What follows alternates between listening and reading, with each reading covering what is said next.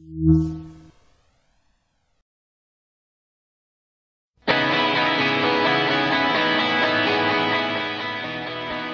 2010 Dodge Caliber SXT, powered by a 2-liter 4-cylinder engine with a continuously variable transmission. This vehicle, with fewer than 40,000 miles on the odometer, gets up to 27 miles per gallon.